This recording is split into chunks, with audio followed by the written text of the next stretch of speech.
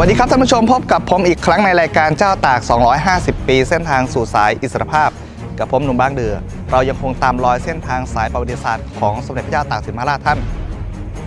เมื่อ 250 ปีเมืองนครนายกนั้น ถือว่าเป็นเมืองที่มีความสำคัญตามเส้นทางสายประวัติศาสตร์ ครั้งที่พระองค์ท่านทรงยกทัพผ่านมายังเมืองนครนายก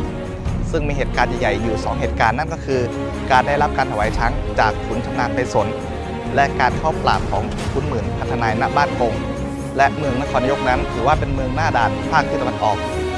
การสัญจรระหว่างกรุงศรีอยุธยาไปยังปราจีนบุรีนั้น ต้องผ่านเมืองนครนายกครับ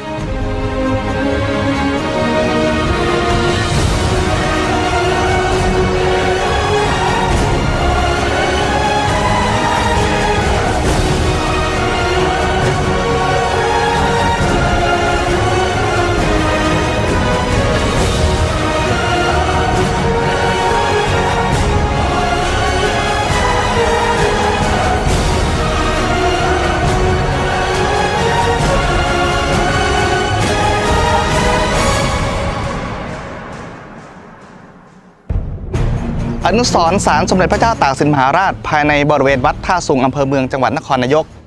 เป็นอนุสรณ์ที่ให้ผู้ที่เดินทางมากราบสักการะเพื่อรำลึกถึงพระวีรกรรมของพระองค์ท่านที่เมืองนครนายก ก่อนที่พระองค์ท่านพร้อมเหล่าทหารจะเดินทางมุ่งหน้าสู่เมืองปราจีนบุรีต่อไป นี่คือเรื่องราวของเจ้าตาก 250 ปีเส้นทางสู่สายอิสรภาพครับ